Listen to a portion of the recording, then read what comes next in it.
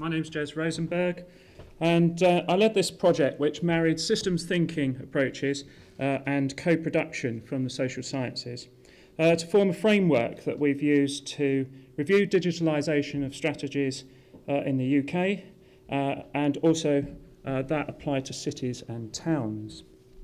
So very much bringing systems thinking approaches into that review process. Right, our research has investigated the opportunities and the challenges city leaders face with digitalisation and how they make good strategic choices.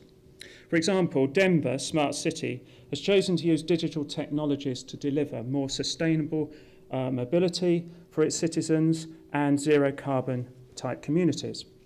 Today, Bristol will be launching its Digital Smart City strategy, and that's going to be built on the One City plan.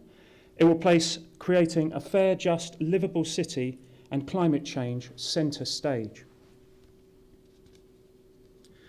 Working with the Centre for Digital Built Britain, Bristol is Open, and Bristol City Council has afforded us access to leaders and managers of digitalisation across the UK and Ireland, including Dublin, Glasgow, Liverpool and Cardiff. And that's provided the quality of data analysis and insight into these complex challenges and opportunities that we needed to take the research forward. Our findings. Numerous barriers are frustrating implementation of digital technologies at scale.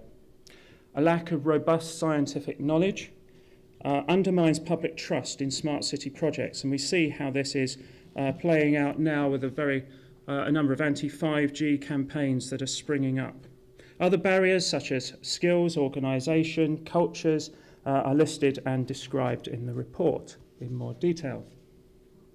To shape uh, digitalisation, the consensus of the city stakeholders we spoke to was the critical importance of articulating tangible desired outcomes. For example, Bristol City's uh, digital strategy is underpinned by its One City plan uh, that details goals out to 2050, but digital futures are uncertain uh, and certainly the strategies that we saw uh, are vague, often in a flux. So it's important to have emergent dig digital strategies.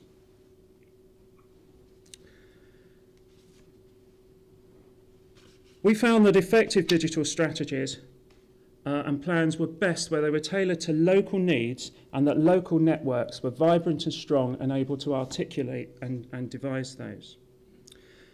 Urban challenges can be rapid and permanent. Midsomer Norton is a small town on the uh, edges, margins of Bristol. It developed its infrastructure, banks, churches, in the 1850s in a decade, but they now face unique challenges from digitalisation, not just within the town itself, but from its neighbours as well.